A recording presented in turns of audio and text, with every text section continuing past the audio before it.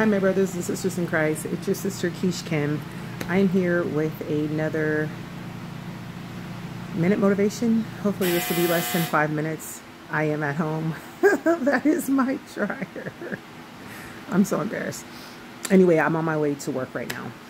But something that uh, the Lord literally has been impressing upon my heart and speaking to my heart is check the fruit. Check the fruit. Do you follow God? Your fruit should actually display that you're following God, right? So what do I mean by check the fruit? So a, an apple tree can only bear apples, right? A lemon tree can only bear lemons. Uh, you get the point. An apple tree cannot make lemons and a lemon tree cannot make apples. So if someone is saying that they're Christian, then their fruit should actually resemble Christ. This is a word of conviction, not condemnation. And you can tell I got a little bit convicted when I just said that.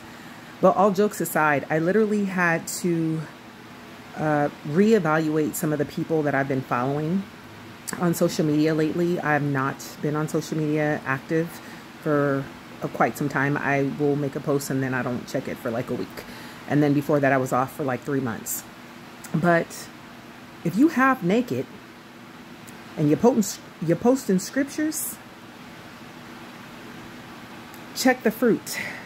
I know we've all been there and we've probably done that. I know I, I wasn't quoting no scriptures, but I was posting some pictures. Uh, thirst traps is what you might want to say when you're feeling yourself, you're going to the club. Thank God God has delivered me from that. And I'm not trying to be judgmental, but if you want to call it that, then go ahead and call it it. It's a righteous judgment. If we are Christians, our lives should be a reflection of who we say we believe. And I don't always get it right. There are people who are being used by the enemy who know how to push my buttons and cause me to get out of character. And thank God that I know God because I would lay some hands, and I'm not talking about healing hands. And thank God that the law exists. But most importantly, I love Jesus. And although I'm not going to be a doormat, I'm not going to do what my flesh wants me to do because I am a representative, an ambassador of Christ. So when you want to know if someone is really a Christian, don't just listen to their words. Look at their lifestyle. Is it a reflection of Christ? Do they worship idols? Some idols are not so subtle. Check out the community playlist. Do we worship idols? The subtle ones, social media, our appearance, our job, money, power, success. My brothers and sisters in Christ, check the fruit.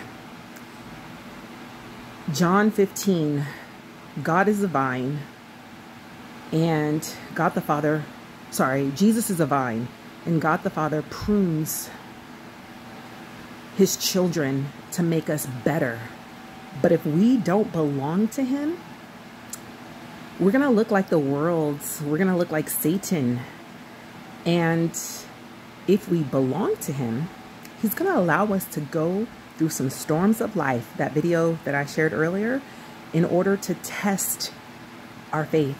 Do we really believe in him? Are we really an ambassador of Christ? Because we can't say we have faith, right? We have to actually show that we have faith. I'm going off on a tangent. I got to get ready to go to work. But I just want to say, check the fruit. Check the fruit. Okay? Until next time, God bless you in the name of Jesus.